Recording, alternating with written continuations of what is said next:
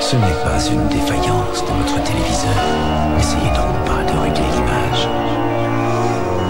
Nous maîtrisons à présent toute la transmission.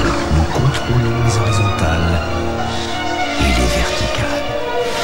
Nous pouvons vous noyer sous un millier de chaînes, ou dilater ou simplement